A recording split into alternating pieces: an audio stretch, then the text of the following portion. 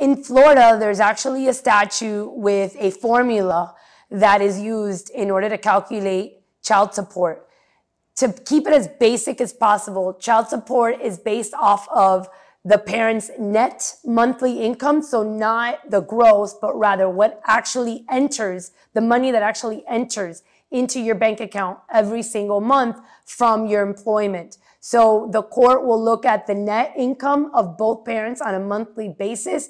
And then the court will also use the time sharing, how many days in the month both parents, and it's not just days, it's actually overnight time sharing that the court will consider. So if one parent has 14 overnights and then the other parent has 16 overnights during the month, then those numbers are also uh, calculated and used to determine child support. The other factors are any child care costs that one parent or the other uh, pays for, as well as health insurance. Whoever contributes to the health insurance of the child will get a credit um, in the formula for child support that will ultimately uh, be decided. And so the bulk of it has to do with your net monthly income and how many overnights you spend with your child or children.